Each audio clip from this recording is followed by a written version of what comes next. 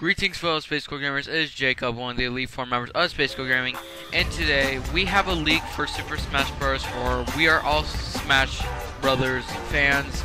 Even I've been playing it since the 64 version, even though I wasn't born during that time, but I had it on my Wii, so yeah. Okay, there was a leak a little while ago that Roy and Ryu were going to be in Smash because someone looked through the 1.0.6 update and found um, soundtracks for them and some other data codes. And there was a leak that came out yesterday and showed a little bit of trailers of both of the characters. And we're just gonna take a look at them, seeing if they're legit or fake. So let's start with Roy first. Oh, oh, Did you just turn him to chicken? He did. That's weird. Okay, let's watch that one more time to make sure that's right.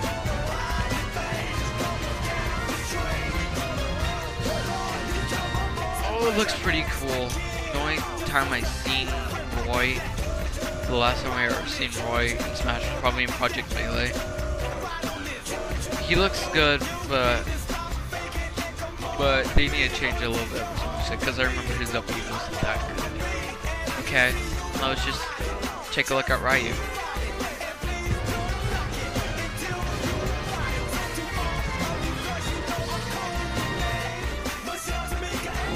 I'm so hyped.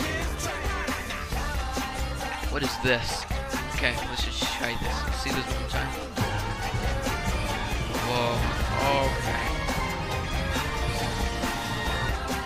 Okay, so I can see that this might be his B move, but I don't know about everything else. I think it's like down A or something side or side A.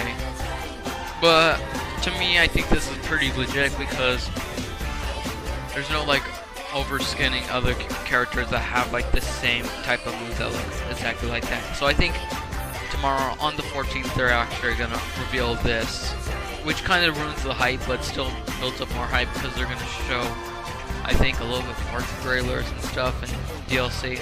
But what do you guys think? Do you think it's real or fake?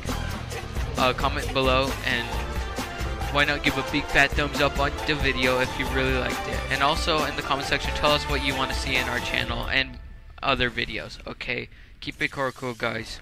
Yeah.